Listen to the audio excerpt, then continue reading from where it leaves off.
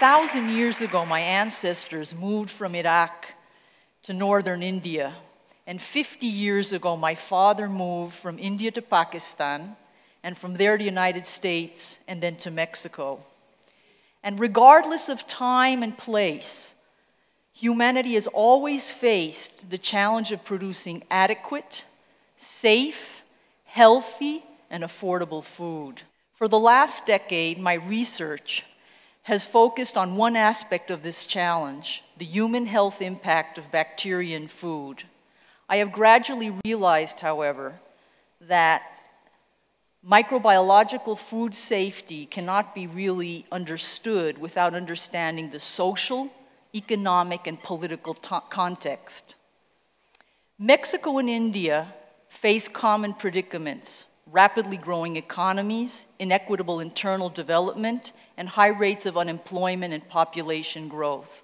What I want to talk about today is how standards of food safety are related to food security and current models of food production and economics, and how these in turn affect sustainability and affordability at the community level. For the last half of the century, the predominant model for guaranteeing food security has relied on large, highly technified systems with a narrow scientific approach. Although it has attained the goal of increasing food production to feed more mouths, it has failed to address the impact of dietary changes on population health, as well as the negative impact on local communities, animal health, and the environment. Now, the industrial agricultural system relies on intensive animal farming, in which thousands of animals are reared together in cruel and unnatural conditions. Large quantities of antibiotics are used to achieve greater weight gain or to prevent massive infections in animal herds. And this practice has contributed to a significant increase in antibiotic resistant bacteria and a growing number of foodborne infections that are harder to treat. One of the most dire consequences of this system has been the collapse of local food production chains and the loss of livelihood and food sufficiency in entire communities. This has been followed by mass migrations from rural to urban areas and the loss of cultural identity and family disintegration that now besiege both India and Mexico, as well as other developing countries. Both countries, moreover, now face an epidemiological paradox in which the poor suffer from malnutrition, while the more affluent suffer from chronic degenerative diseases such as diabetes, obesity, and heart disease, due to the consumption of highly processed foods rich in carbohydrates and saturated fats. But as, as food production chains became increasingly complex, sanitary standards became more stringent. The assumption was that if food was contaminated with bacteria and parasites and cause disease, then the solution was to eliminate these completely or almost completely from the food chain through the use of disinfectants, irradiation, and other technologies. While this reduced exposure to microorganisms has resulted in a decline in diarrheal and parasitic diseases, ironically, industrialized countries have witnessed a dramatic increase in allergic and autoimmune diseases in recent decades. And furthermore, they have also been confronted with an increased number of foodborne outbreaks. One of the theories that have, have attempted to explain this phenomena is called the hygiene hypothesis, and it postulates that the drastic alteration of the microorganisms our environment have occurred in such a short period that the human population has not enough time to adapt. In other words, humans have evolved over millennia to coexist with bacteria in their food and their environment, and exposure to the bacteria is vital to our immune development. In contrast, in developing countries, we know that food is very frequently contaminated with bacteria that can produce disease at a frequency that would be unacceptable in industrialized countries. Now, while these countries may have a higher incidence of diarrheal disease, large foodborne outbreaks are very uncommon. So the adverse consequences of the large-scale industrialized food production model on human, social, economic, and environment health forces us to question whether it is the best model for our countries or whether we should be searching instead for a more appropriate context driven model. Now, in an effort to address these questions, we conducted a study to determine the impact of food contamination on a well-nourished rural community in southeast Mexico, where bacteria frequently circulate through the food chain. And is typical of Indian Mexico, many of the um, households lack toilets and keep food animals in their backyards. As part of the study, we sampled animals in slaughterhouses, retail meat, ready to eat food, and I analyzed them for a series of different bacteria. And we also followed 250 households with an, either an infant or an elder, the two age groups that have the highest risk for diarrheal disease. And if the individuals developed diarrhea, we would take samples of their stools as well as those of family members, and we also measured antibodies in the blood. And all the participating households had to receive health education.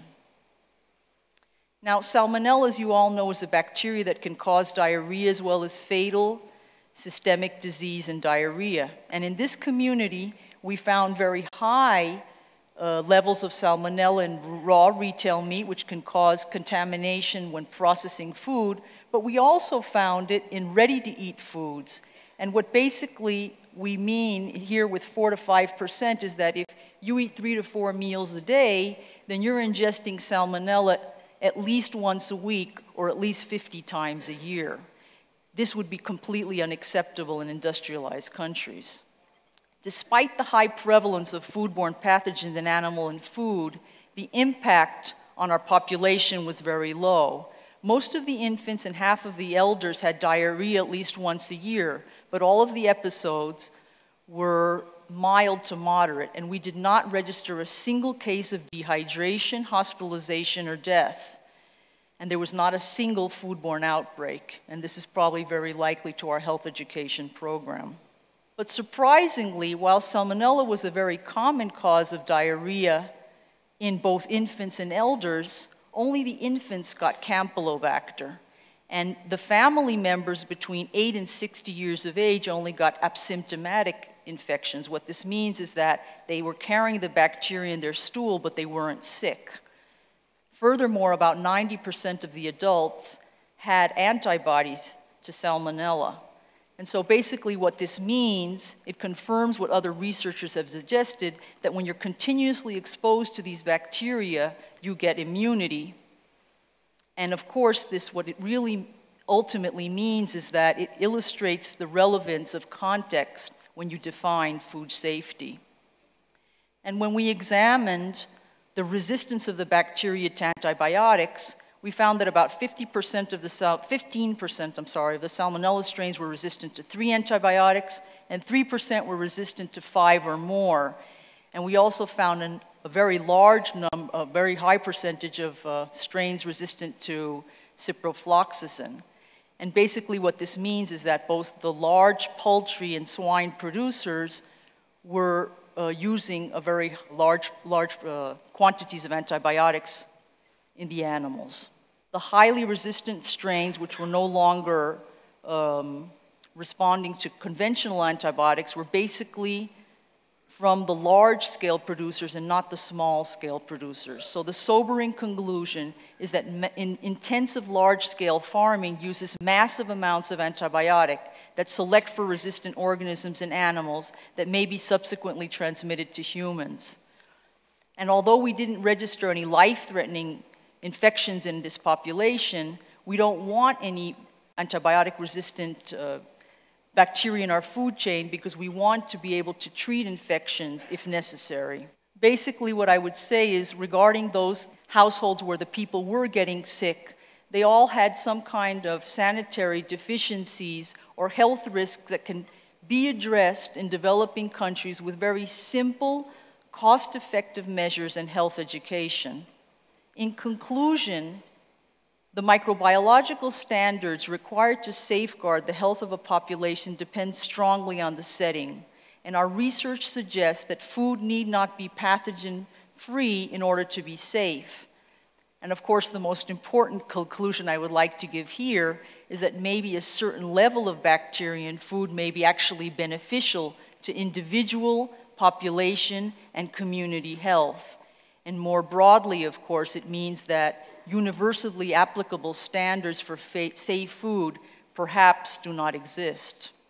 Now, the precise balance between this beneficial exposure and detrimental development of disease still needs to be determined with further research. But the implication for India and Mexico is that our countries would be well advised to examine local conditions and develop a new model for food production.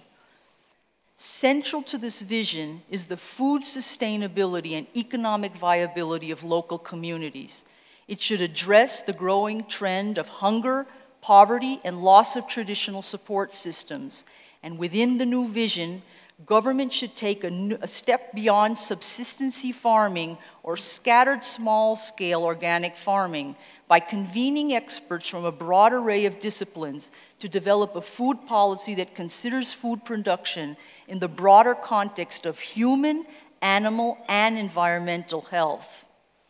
With sufficient political will, I believe that governments could establish networks of regional communities that could receive technical support for the implementation of cost-effective agroecological methods appropriate for small-scale local agriculture.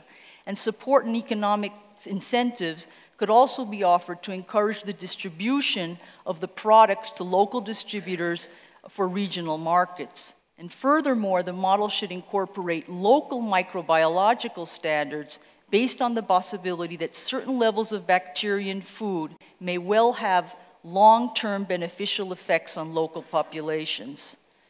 So in conclusion, there is an urgent need for developing a new paradigm for food production in the 21st century. And this vision should counterbalance the prevailing trend toward globalizing, globalized food.